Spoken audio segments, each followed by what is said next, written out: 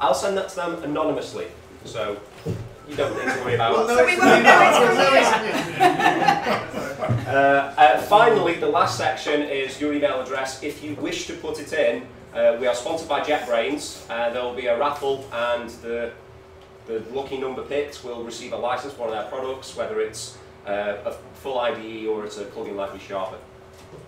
Uh, usual housekeeping things. Toilets are on the ground floor in that corner over there.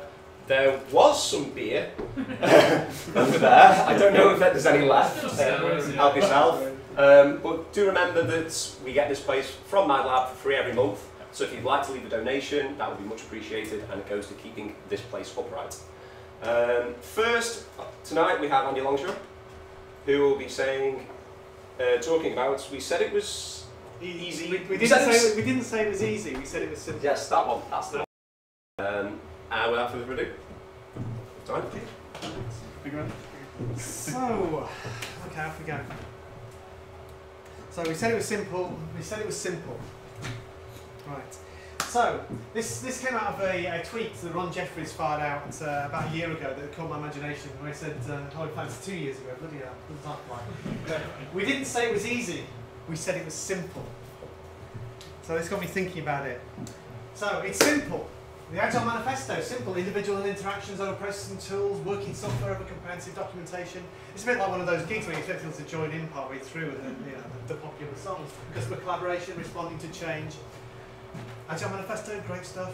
Um, XP values, courage, simplicity, feedback, communication, respect. Read the t-shirt. Yeah. it's easy. Very good. Yeah? Well, it's reasonably simple. No, reasonably easy. Uh, so, sorry, so it's, sorry, simple rather. So it's reasonably simple.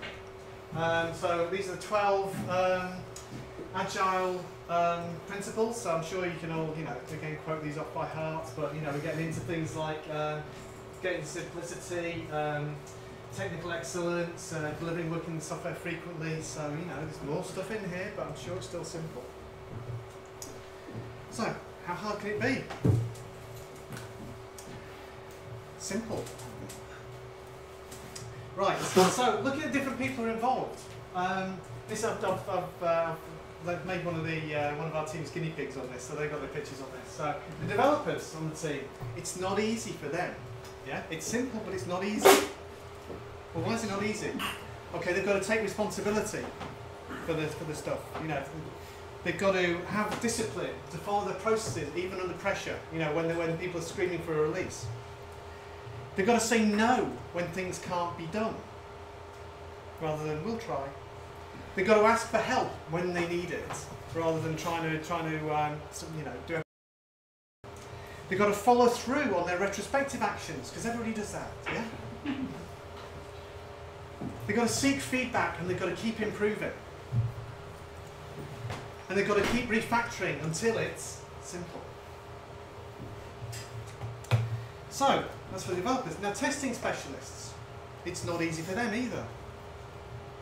They've got to be more proactive than they would do in a waterfall environment. They've got to get really good at business analysis skills, taking part in the three amigos and things like that. They've got to learn some coding so they can pair with the developers and help them with their tests. They've got to get really good at exploratory testing. We've got to spend a lot of time teaching people about what makes a good test. So this is what, you know, suddenly the tester's plate is a lot more full of stuff they've got to do. Oh, and also they've got to do everything the developers do. DevOps specialists. It's not easy for them. They've got to automate all the things. They've got to master the different tools for deployment, for build, for test, and all the different containers you're using. They've got to refactor the pipeline again for another technology you've brought in, the new technology that's been brought into it. Oh, and also they've got to do all the things the developers have got to do. The product owner. So Sally, the product owner, it's not easy for her because she's got to spend a lot of time out in the building, talking to customers, understanding the market. But she's also got to be available for the team to answer questions and take part in Three Amigos. They'll be in two places at one time. She's also got to find enough time to do enough work on the backlog so the backlog's coherent and ready to go when you get to the, get to the next story. And she's also got to deal with various bits of the organisation on behalf of the team, like communicating bad news, i.e. the truth about the delivery term schedule.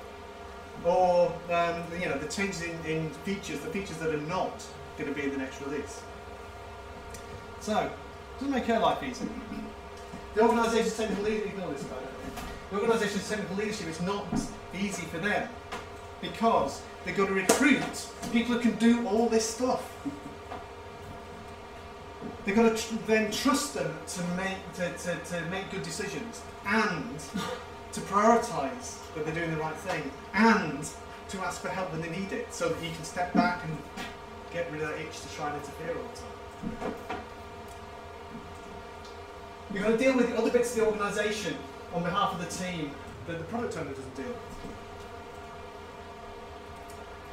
And they've got to let people get on with making the mistakes and learning as they do that. Um, they're doing stuff, they're making mistakes and stuff and learning on stuff that you could probably already do yourself and you could do it faster yourself, but you've got to let them do it because otherwise it will never work, you know, the team will never gel. So you've just been with all this management crap that you'd rather not do because you're be coding. I know, we'll get a coach in. That'll help out, but it's not easy for them. They've got to try and influence the team in just a couple of days a week, probably. They've got to change the culture, change the working practices. Oops. They've got to set a good, consistent example of how to be an agile developer. And they've got to teach people the same stuff over and over again in different ways without going postal. Now, who can we find who could do that?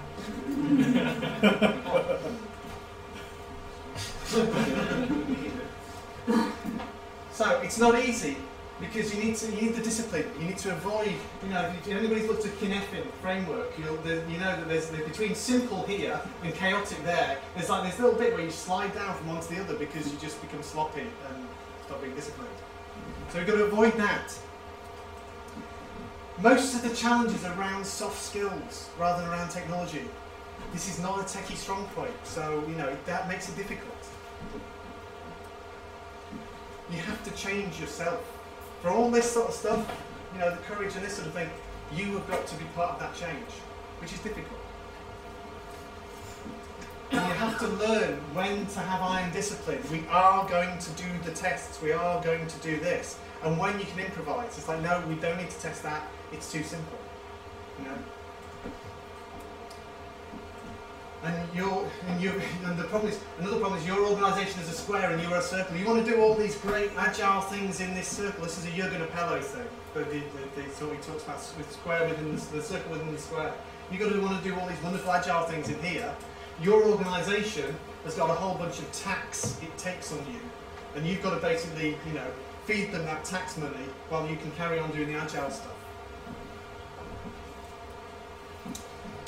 But mostly, it's not easy because nobody's told the wider business that work. The, the, sorry, nobody's sold the wider business on working in an agile way. And agile software development doesn't deliver the benefits unless the whole business is working with the grain. That's why a lot of organisations end up in what I would refer to as Tommy mode. So this for the older people in the audience. There's some there's a, a, the Tommy the Rock Opera they might remember by the in the mid 70s. There's this, the, the, the deaf, dumb and blind kid who played a mean pinball. Um, it's basically, he had this thing at the end of the film where he'd, he'd let people learn his way of doing things by putting in earplugs and a blindfold and a, and a you know, mouth plug and so on, so that they were deaf, dumb and blind, and they could then learn to, uh, to be great pinball players. And guess what? They rebelled. They said, we ain't going to do this, it's just too hard, we don't want to be like you, we just want to have the great pinball skills. Oh shit, yes. This is, how, this is the, the way we learn to do this. So that's where you get to. You know, this, this we ain't going to take mode. You end up with flaccid scrum, cargo, oh, cargo cult agile, all this sort of stuff. But XP and you know the other agile approaches, they only work when you've got the dials turned up to 10. You know, you, it's no good doing a bit of agile. You know, we're a bit agile on Wednesdays. You know. So remember, we said it was simple. We never said it was easy. If you're finding agile software development easy, you're probably doing it. Thank you.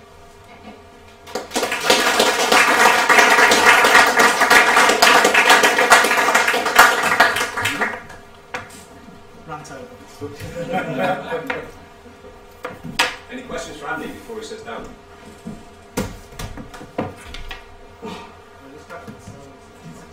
Hi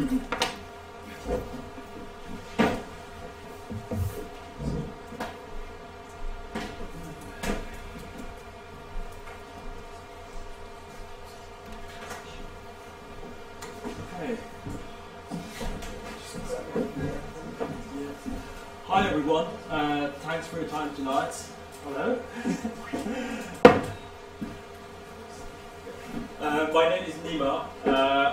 Tonight to talk about microservices. Uh, can you? Um, Sorry. Yeah. the webcam will, will cut Oh, off here. okay, of course, yeah. so, uh, before I start, a little bit of background and why I want to talk about microservices. So, as we all probably heard, microservices is the big buzzword nowadays. So, everyone is talking about microservices. Everyone wants to do microservices. So, how many people here are doing microservices currently? Okay, quite a few. Yeah, good. Yeah. So, uh, in the last few years, um, I started development uh, in Peninsula Business Services here in Manchester, and then I moved to ThoughtWorks as a consultant and worked at many different projects. And for the last three years, I've been using microservices in different projects, different environments. And I saw a lot of projects fail, and I saw a lot of projects succeed. So tonight, I'm not going to convince you why you should use microservices. I'm going to talk about what are the problems that you will see if you are going to use microservices. So, uh, as I said, I was uh, working for Peninsula, then Works. A few months ago, uh, myself and my business partner Kate, we had an idea to uh, change recruitment. So, as a developer and a business analyst, we said that we built Astrolab for uh, techie people, and we started it in Manchester. So, go and have a look and give us some feedback. And by the way, this is built by microservices. I'm going to use some examples of what uh, we use microservices for and how we built Astrolab uh, during the talk. So on paper, uh, building a microservice, building your application in microservices makes sense. And all of us work with monoliths, with big software that is hard to refactor, it's hard to release. And if we are making one part of, we are changing one part of the software, we have to release everything. If we want to scale only one part of the software, again, we have to scale everything. So we all are familiar with problems of monolith systems. And uh, on a slide, it makes perfect sense to break that big software into smaller pieces and make that complexity of the main go away. But uh, the question is, if the complexity goes away, where does it go? And I think this is this is the first problem that I want to talk about. That this complexity that uh, uh, we had in domain in monoliths will go to interaction points between services and we'll go to our deployment and releasing strategy, so uh, releasing practices. So when we are working with microservices, uh, releasing deployment becomes very, very hard. So most of us are used to uh, working with monoliths. It means that we have one, two, three, maybe four applications that we are running in our CI pipeline. And uh, then we want to jump into microservices world when all of a sudden we want to have tens or even maybe sometimes I saw hundreds of microservices in pipelines. And that is orders of magnitude more complex than running just uh, um, uh, one single, single application in, in your pipeline. So if you're doing microservices and you're not managing operational complexity uh, very well, you're going to see a lot of that. You're going to see a lot of manual testing after each release. You will usually see massive UI testing frameworks and in a lot of places, I saw dependency, uh, well, what people call deployment dependency trap as well. So one of the greatest benefits of microservices is that you can deploy them individually. That means that uh, each service can evolve and can uh, be released without touching other parts of the system. And in a lot of businesses, I saw that because they're not good at managing operational complexity, they have to release everything together. And straight away, you lose one of the biggest benefits of microservices. A recent example of this, uh, actually, when we came up with the idea, we were commuting to Glasgow every month, every week, not every month. And we were working for a student loans company. And a student loans company, very complex domain, they had 36 microservices and they had uh, deployment dependency. So it meant that any small change to any service, they had to deploy the whole system, run a lot of manual tests, and then do a lot of uh, testing after that. So uh, that wasn't really ideal situation, and they didn't get any benefit from using microservices architecture. So one way to manage this is to do DevOps as a team, to embrace DevOps culture, and not have an operational team and a software development team. Not even a software development team and a DevOps person. My uh, advice is to have DevOps as part of your practices, and all of your developers should do DevOps. Another thing uh, is to use cloud if you can. So I've seen many different projects, and the ones that are using cloud are much more successful than the ones that are using on-premises infrastructure, simply because there are a lot of tooling around managing complexity for things like AWS or Azure. Uh, so, uh, but if you are moving to a microservices architecture, this is, I think, the biggest thing you need to think about. The second uh, issue that I want to talk about is uh, higher cost of refactoring. So uh, the IDEs that we are using, if you're using uh, Visual Studio or Sublime or IntelliJ, all of these IDEs have really, really good uh, capabilities to do refactoring. So if you want to change a class, if you want to rename something, if you want to extract something out, it's really easy to do it when you are in one code base. As soon as you move into multiple code bases, it becomes a nightmare. And especially when you have a concept that spans across multiple services, it becomes really, really difficult to uh, refactor that, uh, that, bit of the code. And I think Andy had it in his talk, refactor until it's simple. It's very hard when you have microservices to refactor it until it's simple. So here, uh, I would say uh, build it as part of an existing service first, then refactor it until it's simple, then break it out as a, as a different service.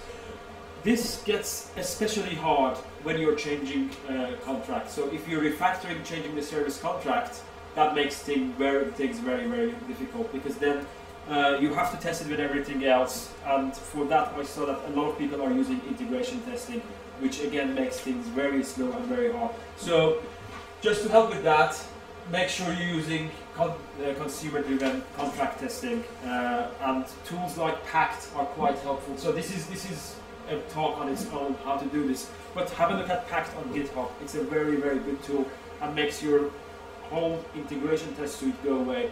And uh, you unit test all of the contracts uh, using uh, using Pact instead of integration testing them. So and then that makes refactoring a lot easier.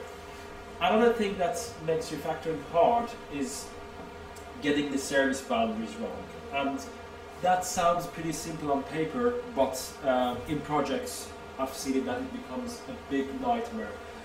So uh, we all know developers uh, become very, very passionate about how to, where to put code, whether it's a different module, any microservices, whether it's a different service, is it part of an existing service?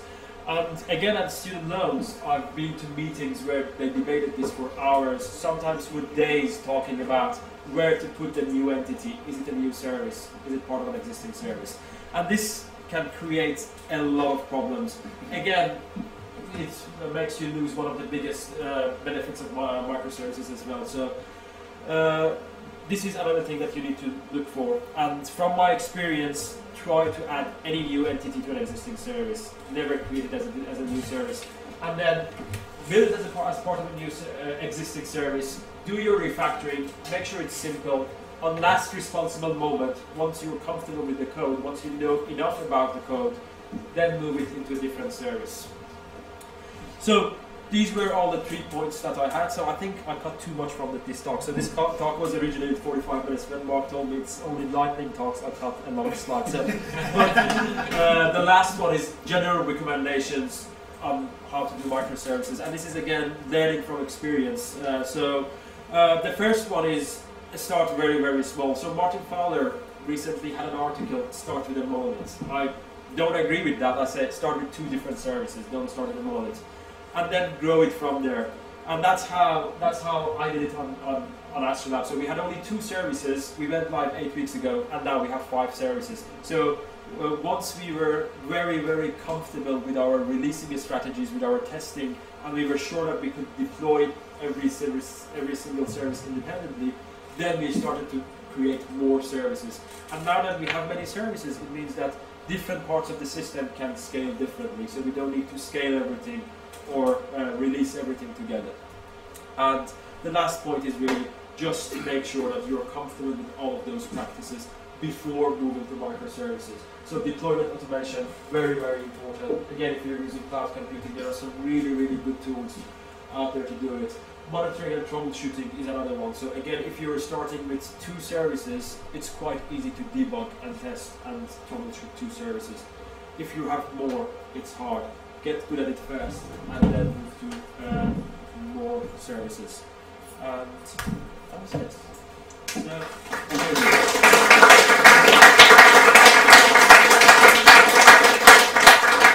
Any questions? You said that you started with two, Yeah. but then you, now you have five. Yep. Um, did the extra three come by splitting stuff out of the existing two, or were they additional? Yes. No. Uh, they came out of like splitting the the other ones into more services, and then uh, one thing that we did, we built like uh, a pipeline template that we could just drop some code in it, and it would just create a service and then release it and deploy. it. And because it's really uh, all of the process is automated, it's quite easy to say, okay, this whole entity, this bounded context makes sense to be its own service. So it's quite easy to just cut the code, put it in service template, put it in the pipeline, and it's, it will be released. So it's very, very little effort once you automate everything and you get good at uh, those practices that I mentioned. Yeah?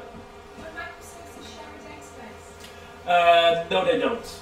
And uh, I think that's that's a big debate whether they should have uh, uh, shared storage or not. I personally think they shouldn't. Uh, one example project that I worked on was Tramchester, if you heard of it. So Tramchester, we had this issue that we had the timetable data in uh, relational database format, and we had the whole uh, route finding bit that we thought it could be a graph database and we split it into two services. So there was one that was dealing with timetables, had a MySQL backend database, and the other service, which was in charge of route finding, had a graph database. Kate is laughing at me because we've talked about Manchester so much. so, uh, and we had two separate services, two different types of storage. So I think that's very helpful to use right tool for the job. So if you need to use a graph database, use graph database. If you need to use a document store, use a document store. Don't stick to like one big Oracle or SQL database. Yeah. What influences your decision of when you should break something off into a separate service? So I think uh, for me is when I have enough information and uh, it's when you know that domain well. And uh, so uh, I think as Andy said we write some code we refactor it until it's simple.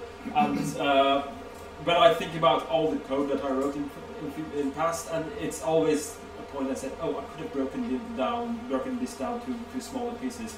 So I think once I have enough information I'll break it until I can. And uh, I know size and microservices is now a big, big debate, but I like to think that it's a microservice if you can rewrite it in two weeks. Otherwise, it's it's bigger than a microservice. Cool. Thank you very much. Cheers.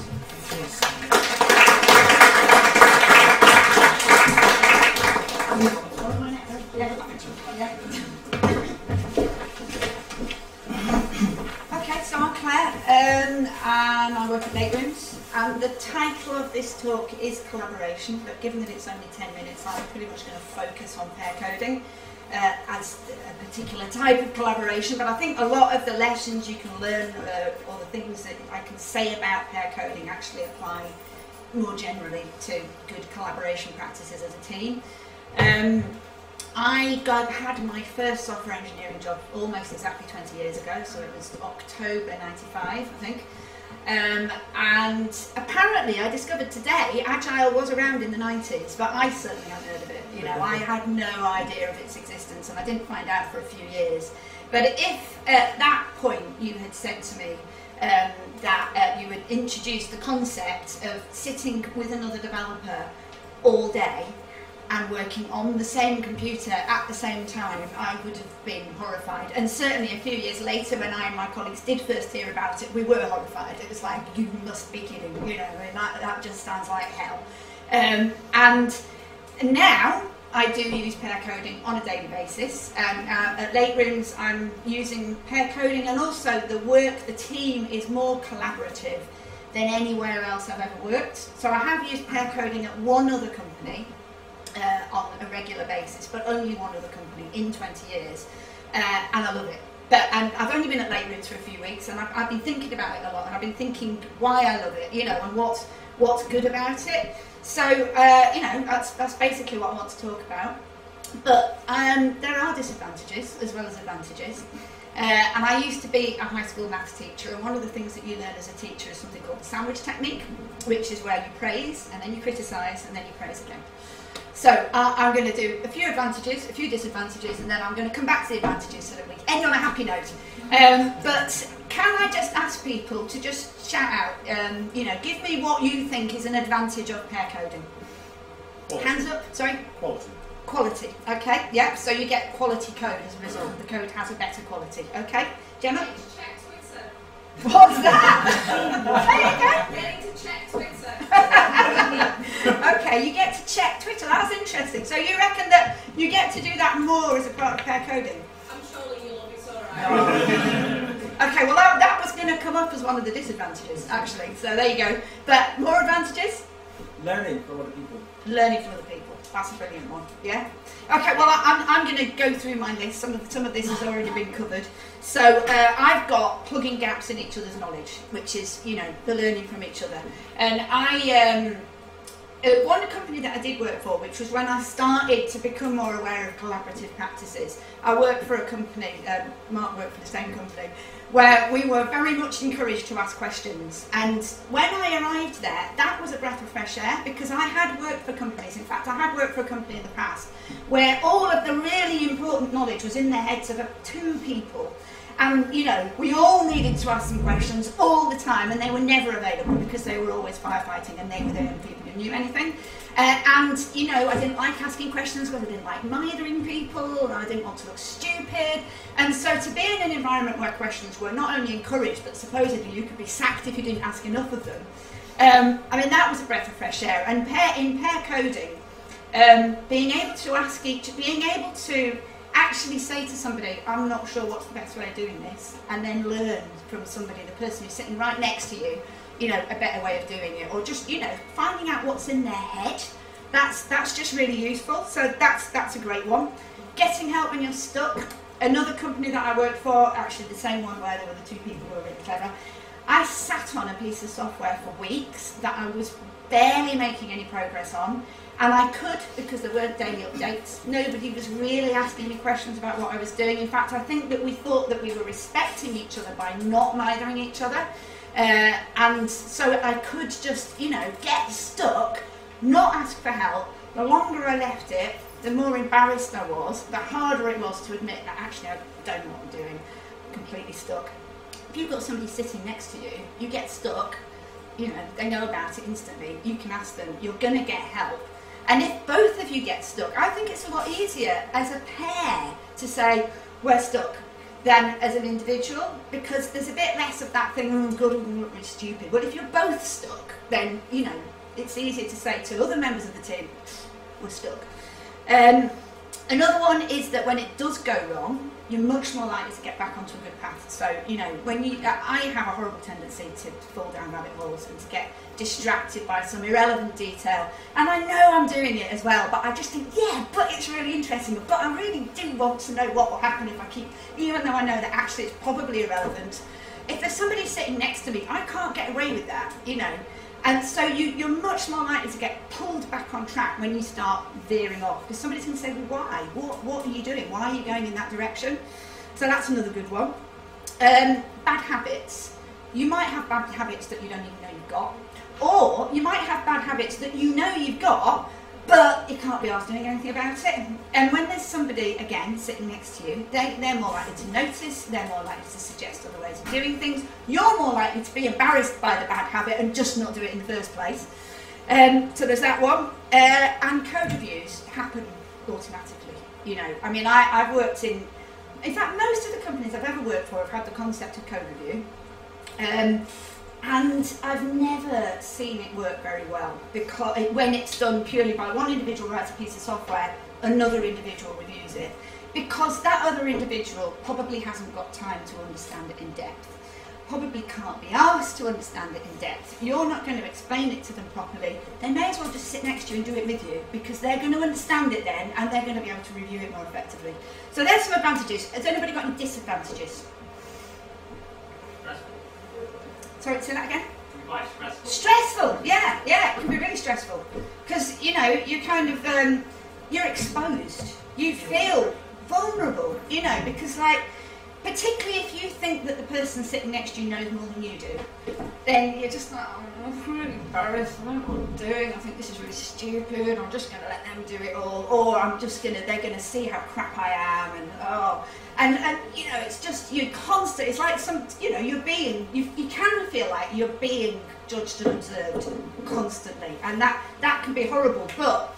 I think that's a really important one to address. So one of the things that I found is really useful is to say to myself, is to consciously focus on noticing when the other person makes the same mistakes that I would make.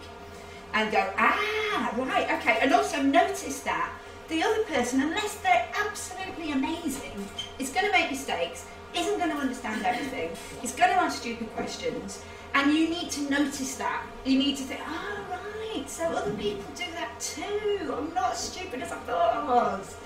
You know, so yeah, and you, you have to, it's something you have to address. And also, not only do you have to address in yourself, you have to be aware of it in other people. So if you're coding with somebody and you think they might be feeling a bit insecure, big up a bit, be nice to them, encourage them, let them have the keyboard, let them make mistakes and don't judge them when they do. Um, so yeah, any other disadvantages? Does it rob you of the chance to finish a train of thought? That's a really good one. Yeah, so you might want to just focus on something. And because there's somebody, like there's, there's a few things in that. So for instance, I've noticed that um, I can, um, I can feel like what I really want to do at this point is just have a bit of quiet time because this is really complicated. And I'm feeling like because there's somebody sitting next to me that I have to understand it really quickly. And I haven't got time to just get- get my head around it. Um, so there's there's that, and there's also you know just sometimes you, you can't focus, can't concentrate there's somebody sitting next to you. At which point you say, "Shall we split up for a minute?" Because I've done that now. I didn't do it at first because I felt kind of embarrassed and insecure, but I do that now. I say, "Look, this is actually really confusing me, and I don't feel like I'm getting anywhere. So is it okay if we split up, go back to our own desks, and I just want to just kind of just you know, fo- tunnel in on it for an hour or so, and then we'll come back. And the two times that I have said that, two or three times, the other person has nearly always gone, oh, yes, please. You know, they felt the same way. And even if they don't, they'll, you know, it's absolutely fine. And I think that's, there's another disadvantage which can be burnout. It's intense. It's really intense. It can be exhausting. You do want to look on Twitter, you want to look on Facebook, you want to answer your text. You have slow days. You come into work, you're hungover. You don't feel like working with somebody else, you know. So you say, look, I, uh, it's not a good day for me. I, I, I don't want to do pairing today. You know, is it okay if I if we just split up and work on it separately, or if I work on this other thing that I've got going on, or you know, it's and that takes strength and it takes confidence, but it, it comes into something that I think is absolutely key, which is honesty. You know, be honest about how you feel, about how you understand, about what you think should be happening. If you're not in the mood, you know, just all of it, be as honest as you possibly can because it, it just, it really makes a difference. Um, how am I doing for time? I forgot to put my timer on. We're probably ahead of schedule because everyone's been well behaved so far. So. Okay, so I can be badly Yes. I We are haven't- banking time for Matt though, so. Okay, well, I, am just, I was just checking. um, so, any more disadvantages? It's a waste of resources. It's a waste of resources. Of course it bloody is. It's two people. Yeah. It's a massive waste of resources. It's two people, probably on quite high salaries, um, doing one job. So yeah, it, it can easily look like that. But then you think about the fact that you probably will move more quickly. You might not. You probably will.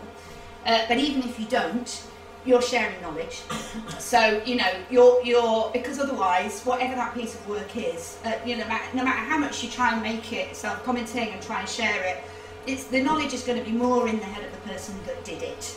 Uh, and also, chances are, within a team, you're going to have a mixture of skills. You're going to have a mixture of strengths. There are going to be things that you're good at, things that your, your colleagues are good at. They're not going to be the same things.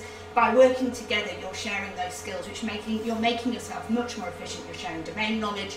The long-term benefit of that, I, I, it's very difficult to measure, but I think it's it's big.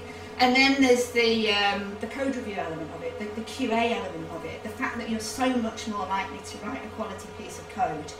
Um, so you know, it's it's it's hard to quantify, but um, you know, I mean, I think probably I am. I know I'm aware that I'm probably preaching to the converted. and Probably, if not everybody, then most people in this room probably already sold on it. But but yeah, it's it's it's great to have an employer that gets that, that can see that actually it's not a loss of efficiency, or if it is, it's worth it. Um, I've got another disadvantage. I've got is complacency, because I think what can happen is you can uh, you can be very much complacency is definitely a problem when you're working on your own.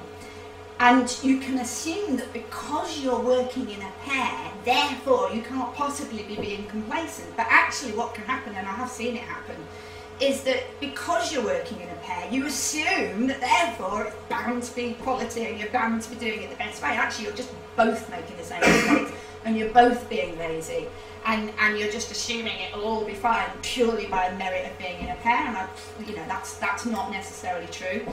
Um, and cutting corners, this is kind of comes back to that thing I was saying of not necessarily thinking about something in depth because you're, you're worried about not working fast enough or pissing the other person off. So I've, I've found that sometimes you can cut corners because you don't want to look stupid or because you don't want to slow things down. So I quite often will think, actually, I'm not really sure I understood that bit, or I'm not actually convinced that was the best test, or you know that was the best piece of code, but I'm aware that we're in a bit of a rush, and so I won't say anything. Or I'm, I'm a bit OCD. I, I like to make sure that everything is right, and I know that I do that more than some other people do, and I kind of sometimes I go, oh, I don't want to say anything because I'll just piss them off. But but don't, you know, trust your instincts. That's that's the kind of coder that I am. So it's at least worth me saying, look, I'm not convinced that we double check this thing over here. Can we just check that again? At which point the other person can have an argument with me and say, well, actually, no, it's fine because it's A, B, and C. But it means that I've voiced that concern. So you know, that's another. It could be tempting not to do that. That's another one that, that you have to watch out for. Um, so I'm going to finish with advantages. So um, one another advantage is that you get the opportunity to properly discuss disagreements and alternative ways of working. So you know, if you're if you're not convinced about the best way of doing, or you don't agree, because you're sitting next to each other, you can actually talk about it properly. You know, not in a meeting where everybody's oh, to, you know, like that. Actually, properly consider what you're doing, um, and you. I, I've already said this one actually, but I do think it's important is to pay attention to what other people are doing and notice that they're not perfect either.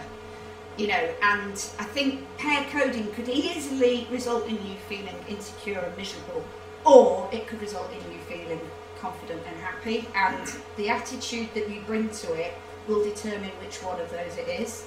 So if I'd say just two things, ask questions, be honest, keep doing it over and over again, keep asking questions, keep being as honest as you possibly can. That doesn't mean telling them they've got BO, but if you can, be honest.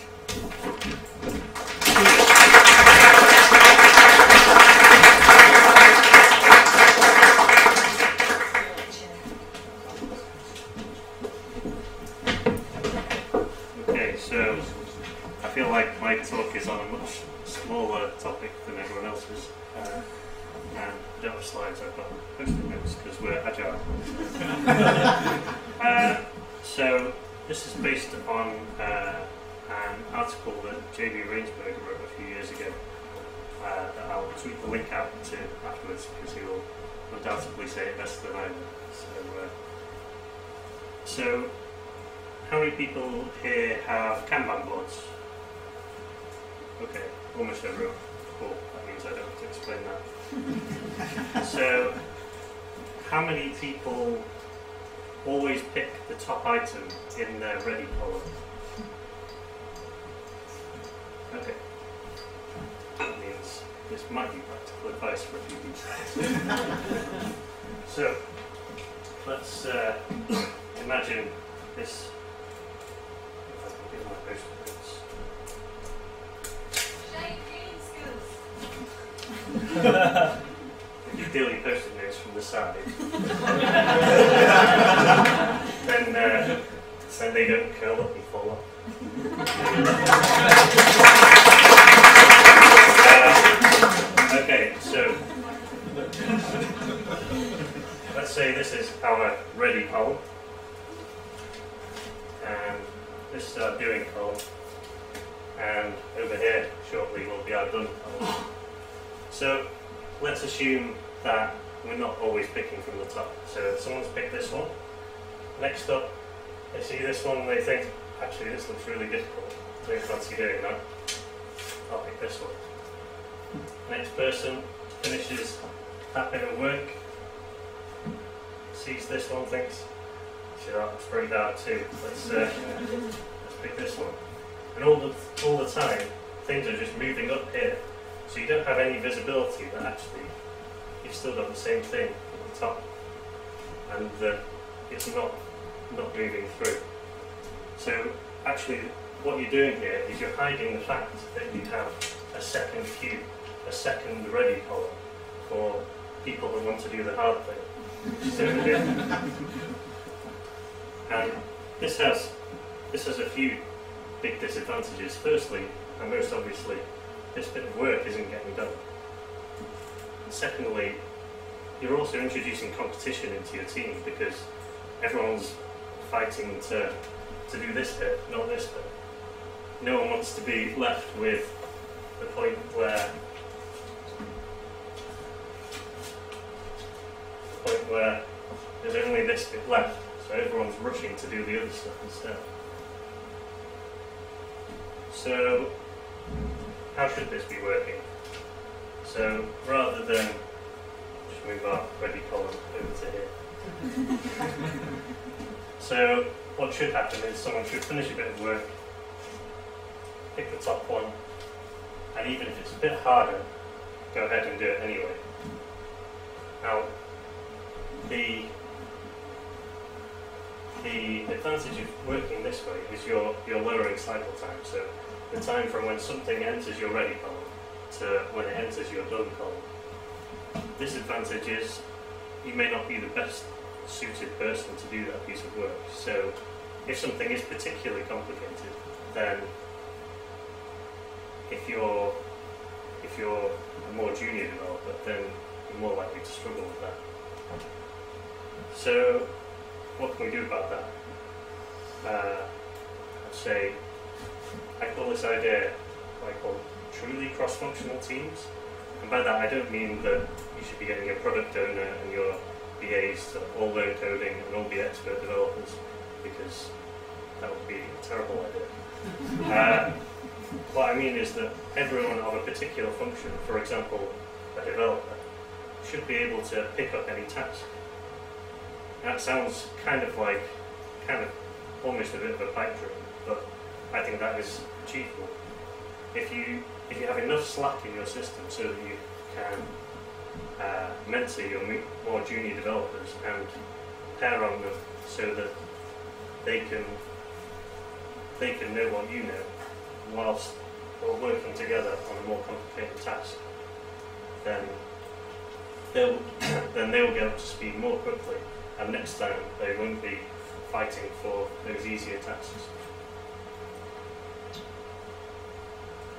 Does that make some sort of sense to it? Yeah. Okay. Well, that was everything. I seem to have rushed so, uh, yeah. Any questions?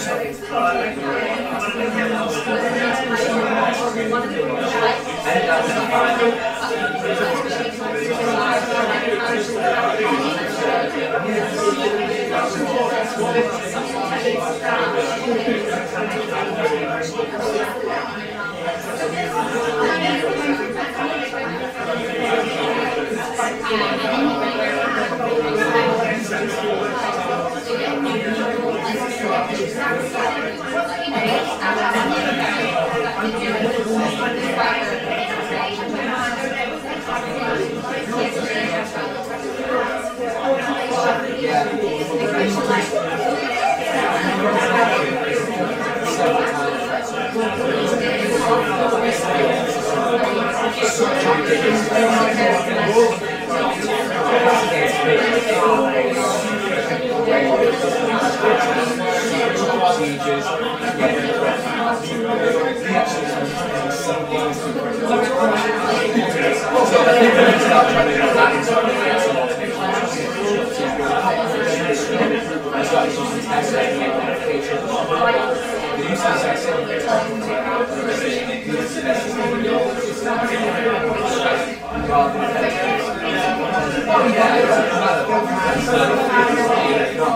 Thank you. But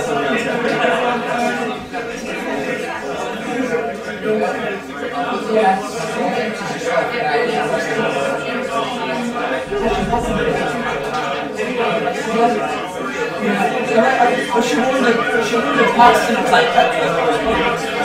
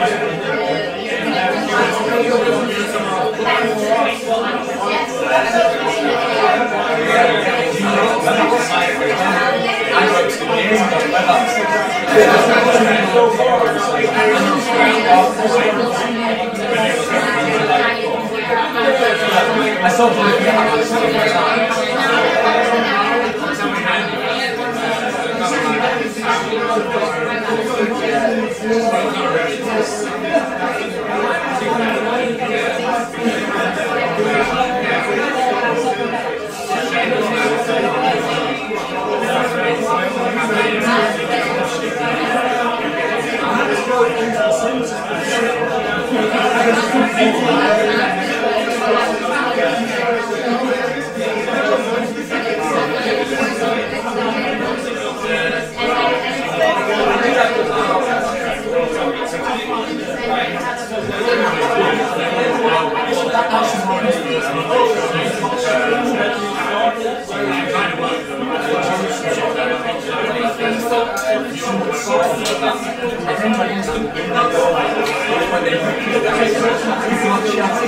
year later, he starts the same school, same notes. He's like, how is that?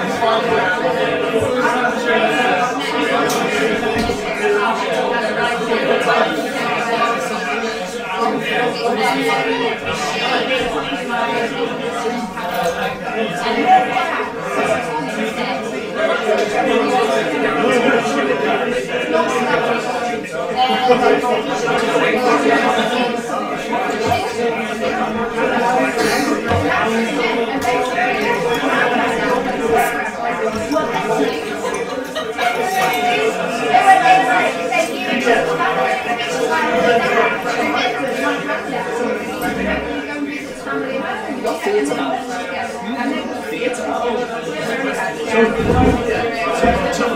what's the move? So we can just get Jen to shout. She's on We ended up being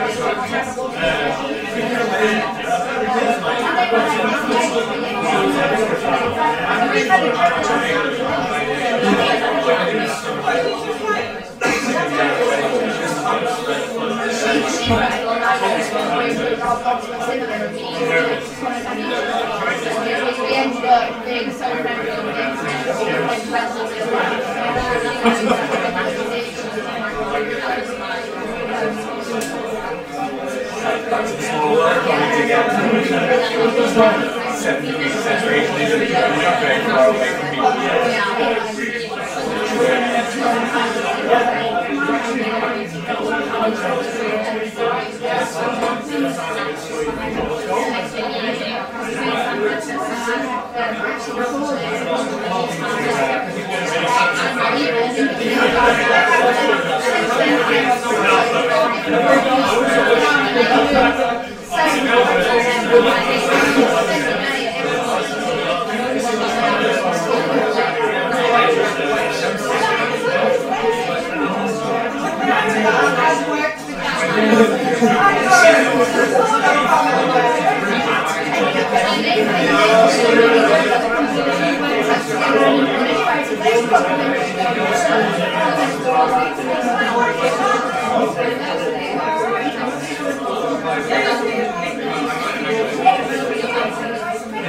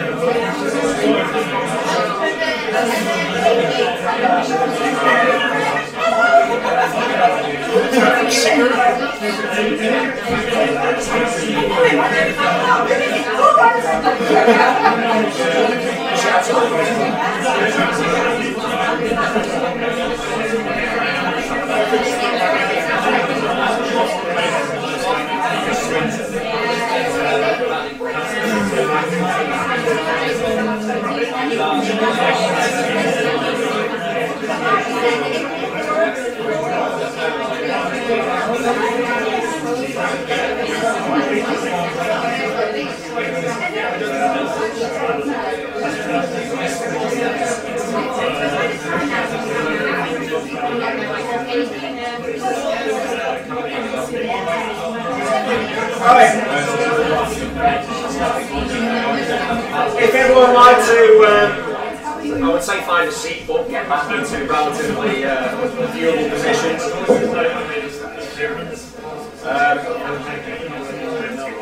We have two more talks. If anybody else, if we have time at the end, um, which Matt and Gemma go in next week, we probably won't. If anyone likes to do a ad hoc talk, feel free to volunteer. We had a fantastic one last year, very inspirational. Um, please remember bit.ly slash xpman61 for speaker feedback and for the JetBrains raffle. See you. Feel free to do an ad hoc talk over mine if you want. Fine as well. Uh, right, um, so, show of hands, first of all. That's about as abstract as it gets. so, who writes code? Yeah. Who works in a language that encourages abstractions? Language. Uh, who doesn't write code, but occasionally thinks, yeah, that's, that's a good start. Okay, who doesn't write code on a regular basis? Okay, so not many. It's a bit techy this one, so that's fine. But there are abstractions, I think, that um, aren't always apparent exactly what they are. And is that me? That's abstract enough. So there are abstractions that um, I think some of them we're very familiar with, and some we're not so familiar with. So if I were to say shape, triangle, square, circle, animal, dog, yeah, all the typical very early stuff you might do in uh, your uh, object-oriented experiments very early on in your career, probably. Uh, we're going to talk about abstractions that aren't typically technical, but when you're faced with a technical choice, they can become quite contentious. And there's quite a lot of debate around what the abs- abstraction is. So, if you're writing code, you're delivering products, you're most likely dealing with this as an abstraction, a customer. So, what I'm going to talk about is a scenario that happened to us in a recent product development uh, sprint. And it was just interesting because we didn't expect the abstraction to cause so much um, debate. So we're working with a customer. We want to introduce them to our product. We're not going to make any um, revenue, let's face it, if we're not introducing our customers to our product. So in this case, let's call that product a policy, an insurance policy. So, first question is, how do we go about introducing our customers to these products? In our case, it's very simple. We've got a digital journey down here, consists of an application that can run on browsers and handsets. And as soon as you start to introduce the idea of a digital journey, introducing your customers to policies, then you start to think about other things. So when is the customer a visitor to your digital journey? When do they progress or promote to being an applicant? Then is the point where they might want to actually apply for a policy.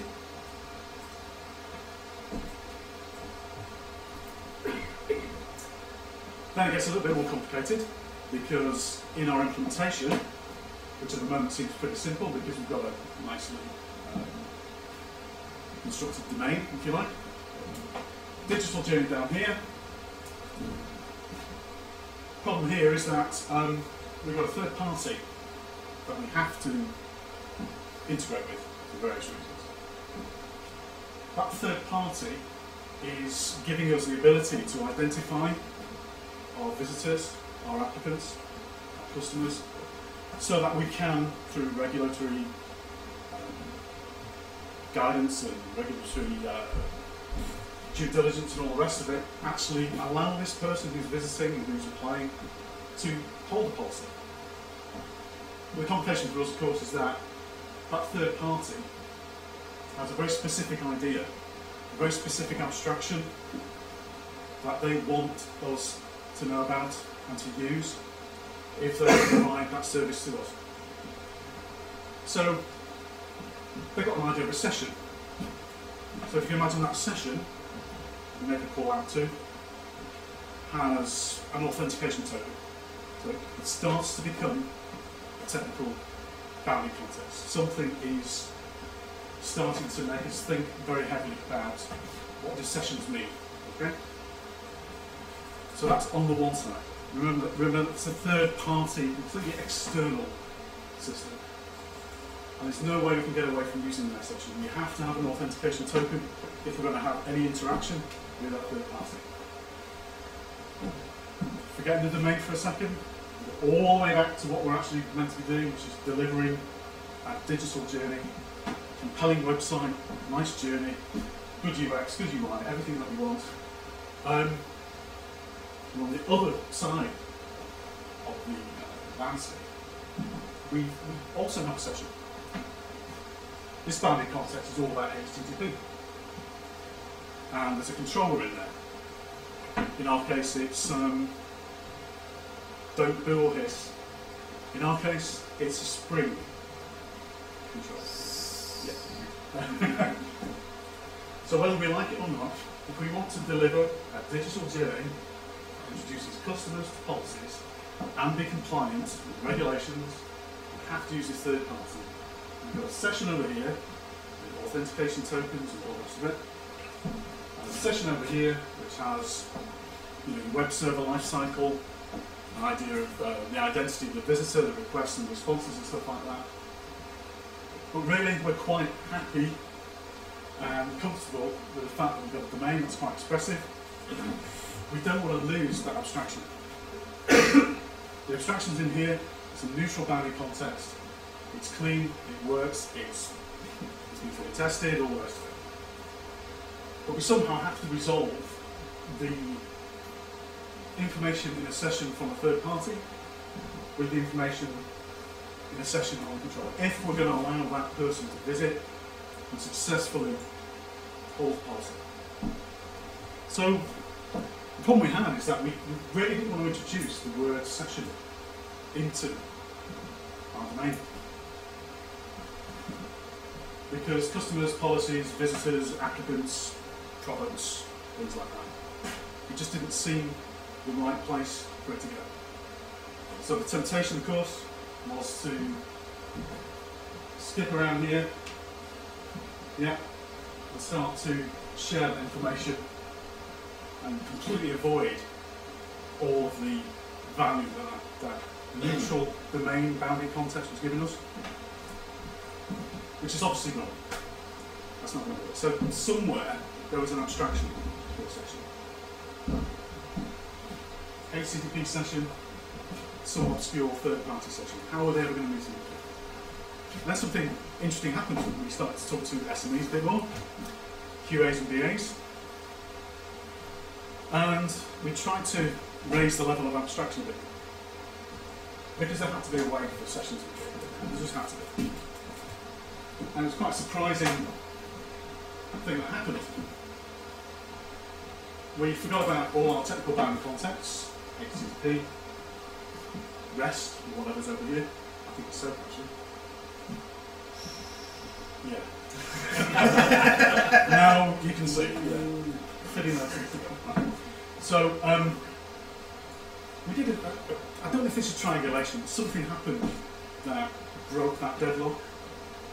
Some kind of triangulation happened where we were too embedded, you know, we need to solve this technical problem. How the hell do we get a session to work? We just thought about, well, the high street. So this, um, this vendor, this provider of policies has a high street outlet. And if you're a customer who's visiting that high street outlet, and you happen to talk to an advisor there, the likelihood is that you're going to start a session with that advisor to talk about applying for a policy. And that advisor is going to take you on a journey in a session, a one- one-to-one session, and ultimately you're going to end up with a policy and walk out your happy. Uh, so, this is when we start to think, well, session seems to, it does belong. It does belong here. Why should we have to take shortcuts and go around like that? That domain should have a session there. So it's pretty much what we did. Stuck the session in there.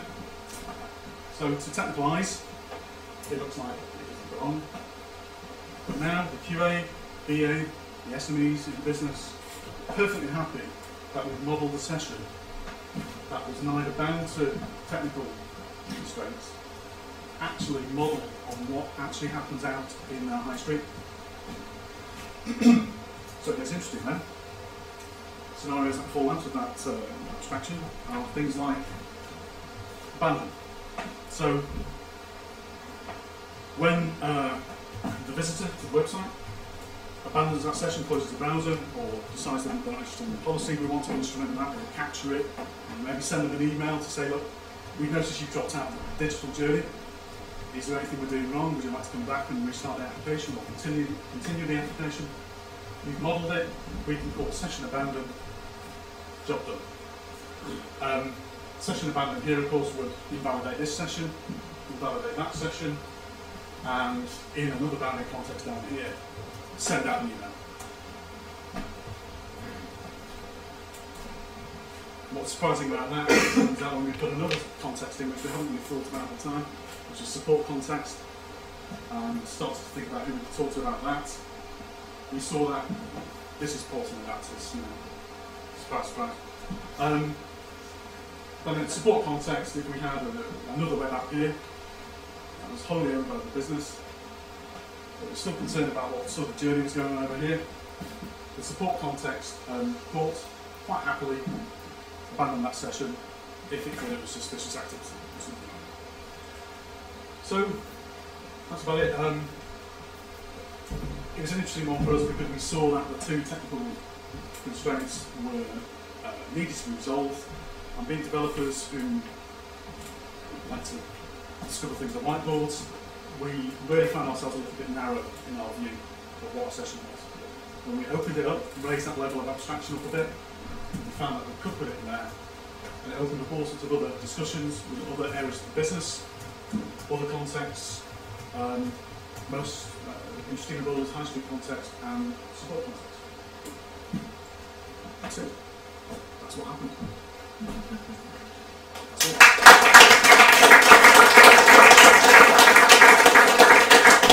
questions on my drawing skills?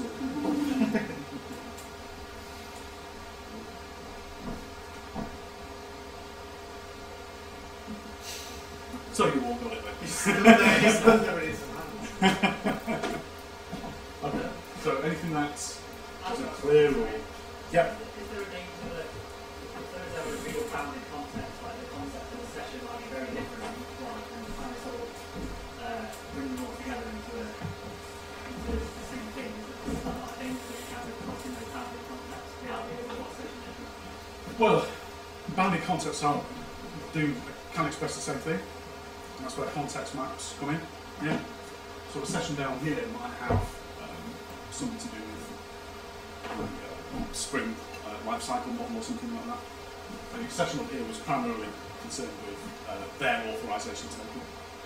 So completely different shapes to these things. But um, yes, some common ground here, you know, in terms of methods, in terms of actual behaviour. But um, session, session, session is perfectly fine in the domain-driven design sort of way because your bounding contexts are intended to be mapped using context maps. So anti-corruption layers. What we've got here is an anti-corruption layer that says, okay, you, we understand we have to deal with authorization tokens.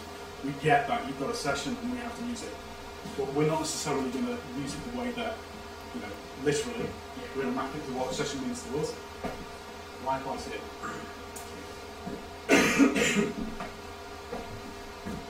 Yes?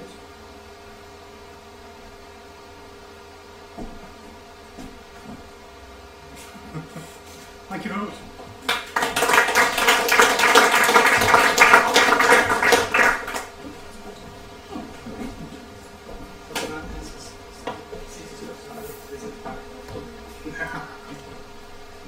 I'm here at Penn Mills now. Talk amongst yourselves while I try and get this set up. Do you need the HDMI or? Uh, I would have brought my HDMI cable thing, but it's over there. This will do. Ah, yes, it's got all the adapters. Yeah, just talk amongst yourselves. Get a beer. Right, what's on my screen before I uh, plug it in?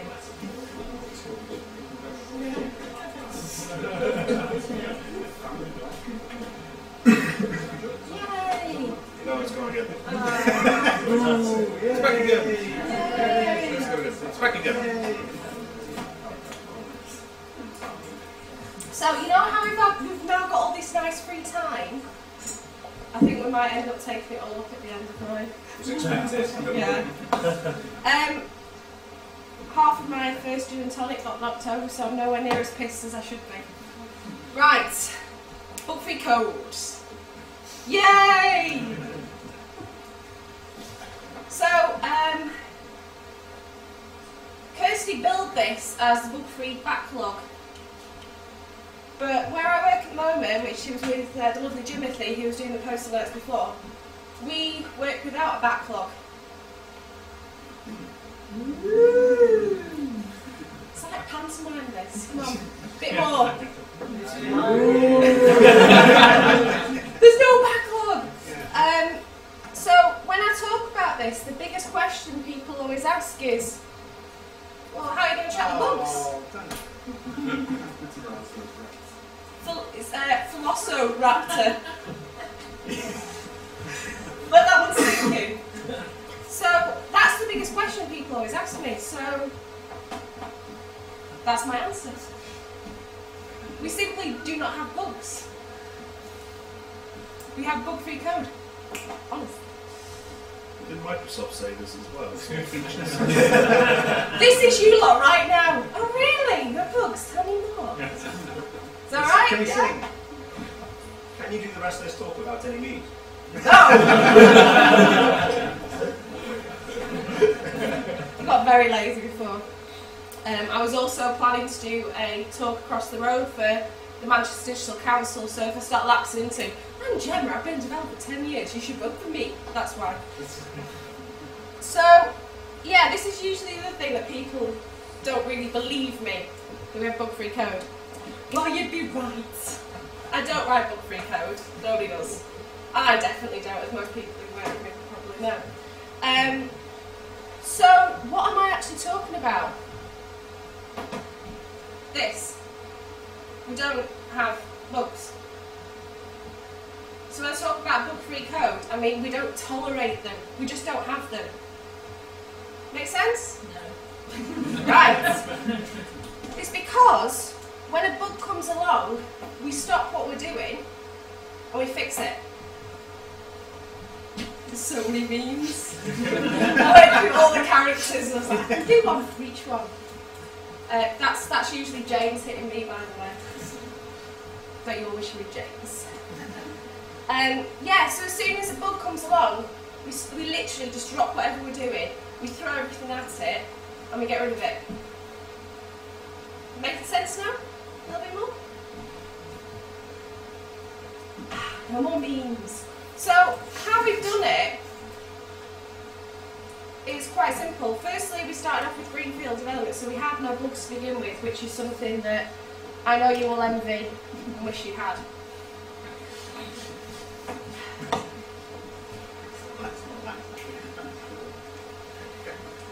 We TDD, and because we're test driving, because we're writing all these tests all the time, it means that bugs that do come up, we can squash them and they're not going to come back.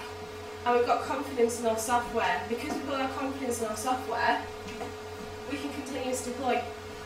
So literally just change a line at a time and it goes out all the time. So we're doing things like we're doing microservices like I touched on before. Probably not well, probably not right, but you know, we're trying. And this no backlog really, really helps. Because we don't have a backlog, it means that the bug can't go to the bottom of that list and live there for a bit and get pushed down and pushed down and pushed down because there's more important things. Who thinks bugs are important? So why do we keep them in a bug tracker? Why do we let them all hole up? Why do we give it to the new starters in the team, all the graduates that come in, all the second class citizens, to fix bugs? Why? We don't tolerate them. What who are you looking at then? Who's a second class citizen to you, Coastals? He's a graduate. child. No offence, mate. and the only reason we've been able to have no backlog is because we've got trust in our team. So how we work, we're in a room with um, so a company that I work at the moment, um, Allegro Networks. We automate the internet, literally automate the internet. So you know the internet's made up of lots of interconnected networks. That's what the internet is. That's what we do. We connect those together. And in our room, we've got network engineers who know the domain. So touching on what uh, Mr. Cannon, Mr. Cannon, oh, hi Mr. Cannon. So we can speak about the abstractions. We've got someone there to talk to. So we, because we're working in this very um, quick, quick way, where it's literally just changing line of code. We've got the people there in the room that need to ask questions and keep, continually keep adjusting our understanding the language and what we're working on. It means we can do that because we have them there. Again, something that not everybody has, and I appreciate this. So yeah, this is something that we do. So. Um, and when we started at the company, or when I started the company, um, it was completely greenfield, brand new startup inside an existing company that already had the network and dark fibre. Everybody sat there and had all these ideas about how it should look, how it should work, all the features it should have, and they built this massive list of shit. And I started doing all the BA things of like writing them all down on post-it notes and then writing them up in a wiki for people. And spending all my days writing shit out that I really wasn't enjoying. And I finally thought, why the hell am I doing this? So, unbeknownst to everybody else, I got these post-it notes and I threw them in the bin. I think I need more drama there, come on! That's better. And I was able to do that because people really like it when you write their ideas down. This is something I learned a long time ago. If you write down their idea, it's out of their head and it's your problem now. And they'll shut up and they'll stop banging on about it. if we'd have done every single thing that had been in that massive big pile around that table, one, we wouldn't release the product, especially not in 90 days. Two, it would have done so much shit that nobody wanted, nobody needed. All these talks about it should be like the London Underground. It wasn't. It's not that. On strike. That, that was a really good joke. so, they didn't know that I'd thrown everything away. They still thought we had this big backlog of stuff that was going to be done. We eventually managed to sort of train people by going, okay, we've finished this feature and they can see us working all the time. And because we're continuously, continuously getting out the door, we've got the people in the room. So again, we the engineers, but we also have the CTO. And in the main room, so a short walk away, because you know, if you work with computers, you can stand up, walk over, and talk to people. With your mouth! And your eyes! And your hands! If you're slightly Italian.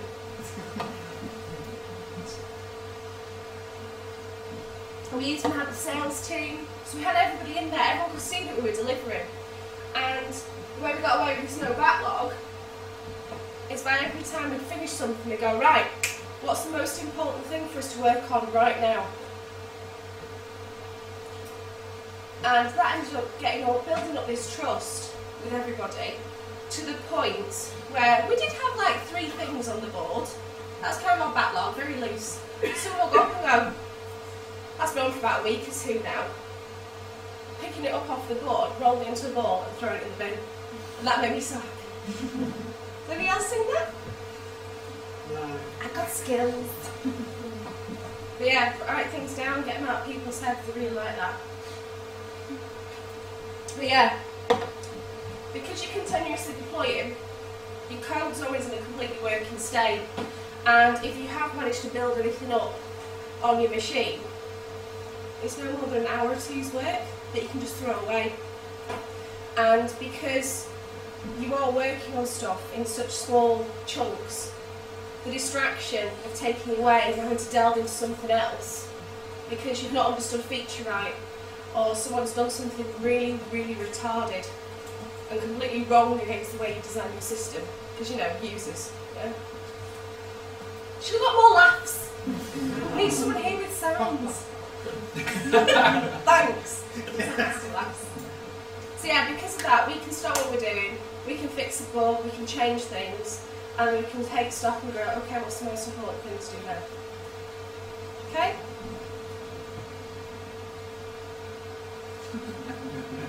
I've lit the building. Anyone got any questions? Yes! So, like, what happens when you drop everything and the resource to fix the problem? The resource, the, the resource, the people, Thanks, mate. Thanks. the resource.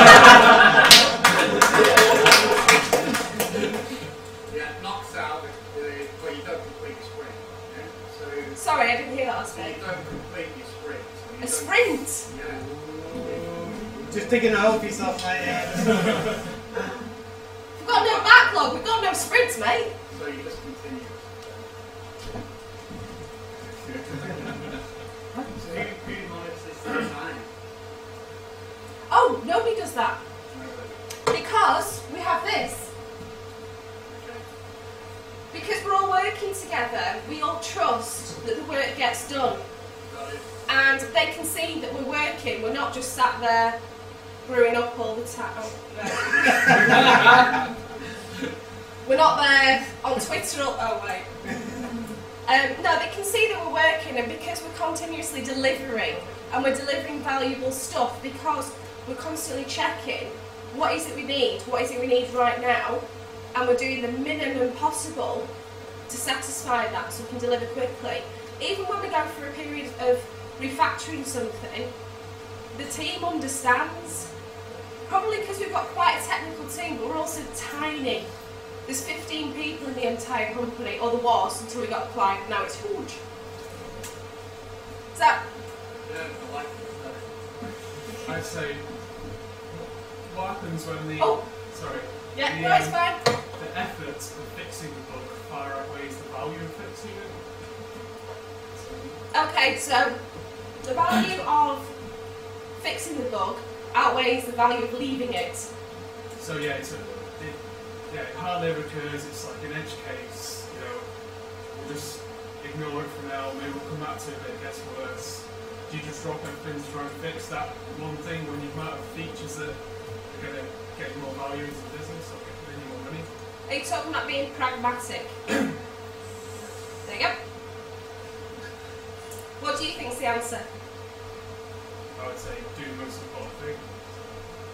So, that bug, to us, you'd write in a post-it note, and you'd look at it and go, yeah, this is a pain in the ass, this is a real edge case. Really, how often is this happening? You throw it in the bin. So you throw it in the bin. Yeah. One of the one of the reasons as well, people like things being thrown in the bin, and something I didn't really touch on, and the reason we don't have this, we do really, because you have it in your head. Important shit comes back. So if that bug comes up again and again and again, and you make the wrong call and you really need to get it sorted. If it never comes back again, yay! People who question, and again, that will come down to retention and making money, and actually, that's the most important thing here. Let's sort it, speak to that customer, delight them. Don't laugh!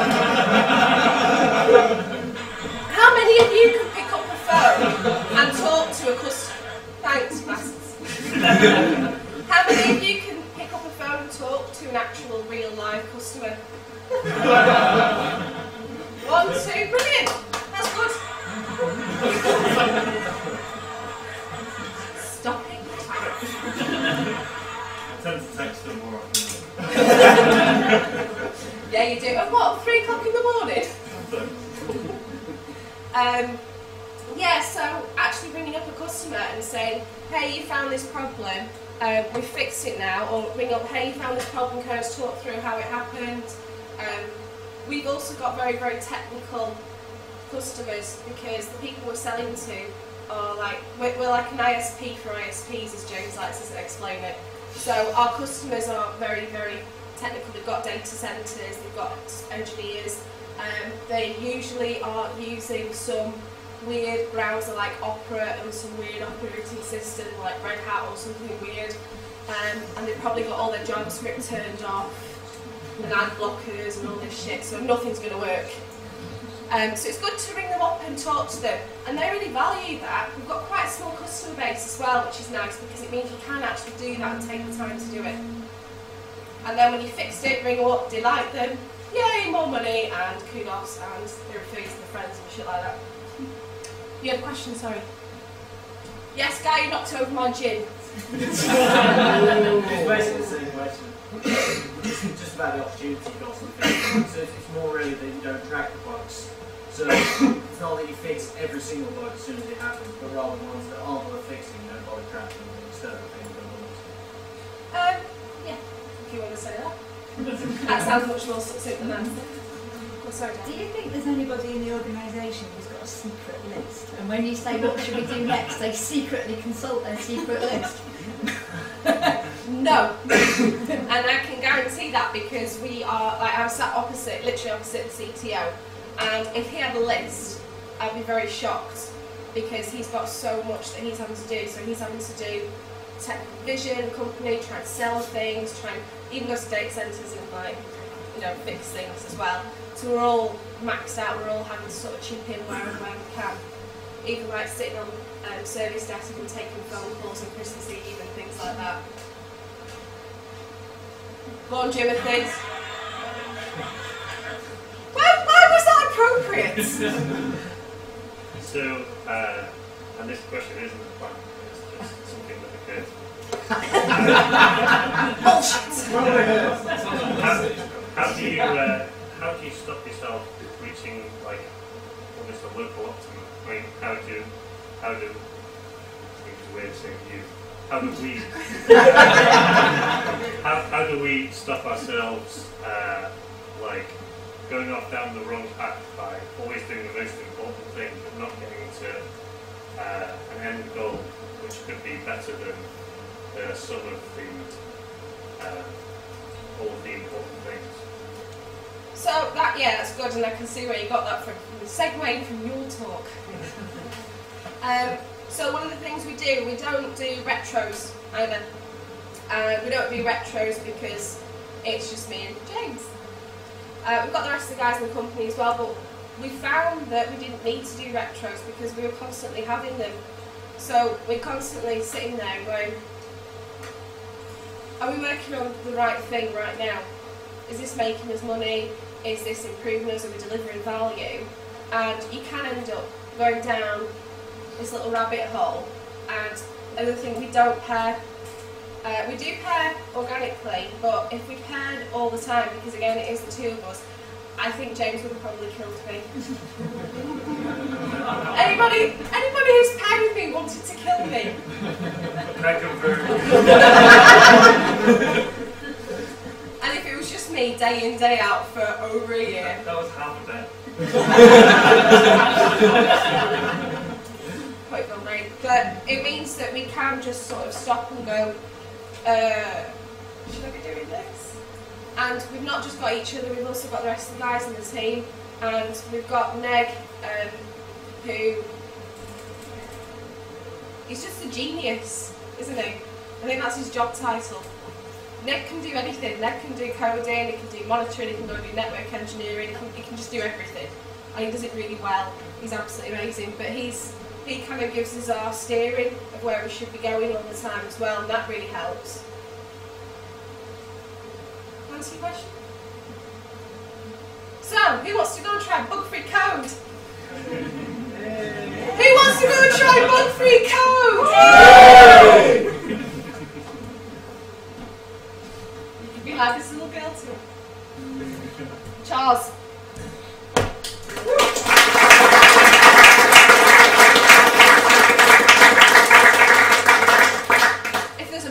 it. There is one. Please do not. I've got another question. Oh, why, oh. why did the sparky bracelet have to come off and then go back on again?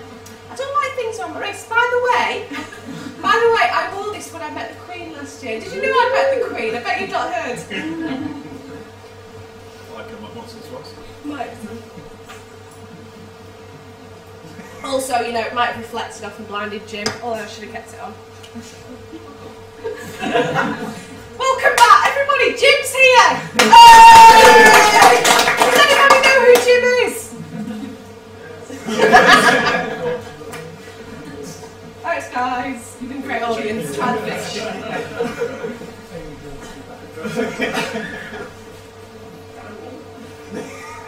We're done.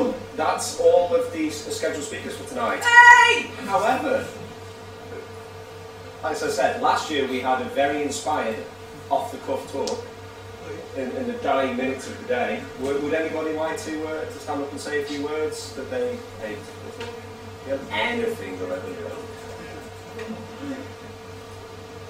Failing that, we can all continue the discussions in the pub. Okay. Uh, let's go to the English Lounge. It's on the High Street. It's no.